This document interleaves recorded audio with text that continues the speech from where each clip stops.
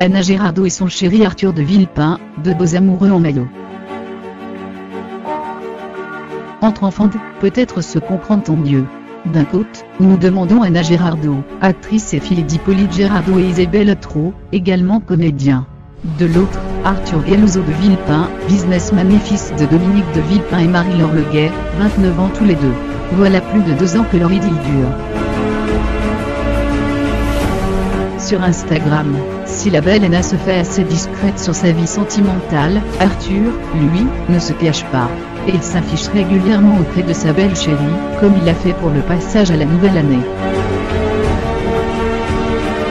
Le Bourbos a publié une photo de lui torse nu, en maillot de bain et sortant d'une eau translucide, aux côtés de sa petite amie, Hilar dans son bikini orange. À 2018, on arrive pour toi, écrit le jeune homme en mentionnant Anna, mais également l'une de ses deux sœurs, Victoire de Villepin, l'autre étant Marie. Pour le nouvel an, Anna et Arthur s'envolaient vers la Thaïlande, où le fils de l'ex-premier ministre de Jacques Chirac a ses habitudes. Les deux tourtereaux se sont ainsi rendus à Koh plus connu sous le nom de Chicken Island, mais aussi à Phuket, ainsi qu'à Jakarta, en Indonésie. Une impression de déjà vu puisqu'en décembre 2016, le couple avait déjà passé les derniers jours de l'année du côté de Phuket.